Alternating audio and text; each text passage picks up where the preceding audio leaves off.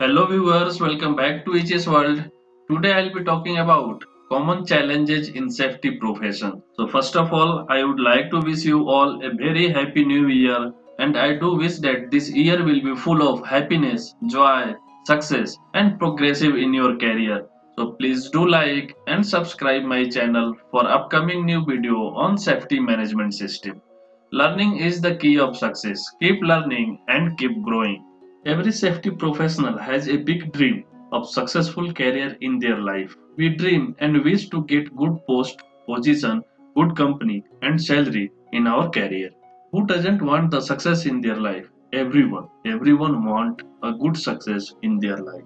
But several safety supervisor and officers are struggling hard every day to get good job, good company and good salary in their career but the biggest challenge is the competition in the race of success.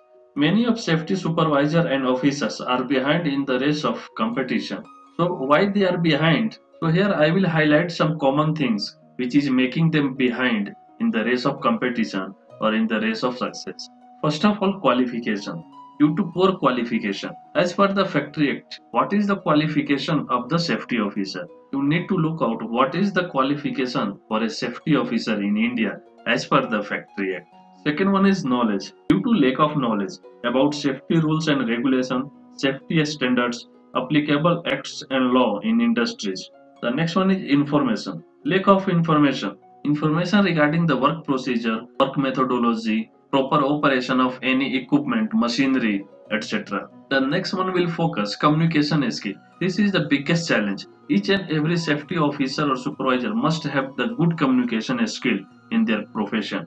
Next we are going to see presentation skill. As a safety professional you need to have a proper and good presentation skill. Email communication. The email writing skill you need to develop it. The next one is management skill you need to learn how to manage the things and how to manage a site. So the management skill is most important to success in our career. And several other reasons also. If you want to get success, you have to develop some common things like the presentation skill, email skill, management skill, communication skill, your knowledge. Not only these issues, there is also several other reasons which make them behind in the race of success, such as poor decision making capability, lack of knowledge regarding work process, work system, work culture, etc. Several safety officers are suffering due to the bad politics in organization. Many of safety officers are suffering due to poor safety standard and culture in organization. Many of them are suffering due to criticism. So there is several factors which make safety professional behind, which is the barrier in the path of success safety professional. Leave all problems into a corner and keep a positive mindset for your success.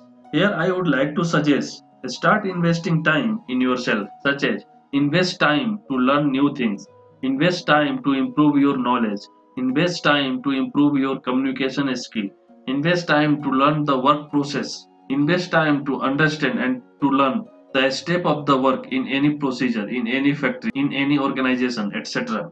So here start to identify and focus on darker side of your career and start polishing it every day.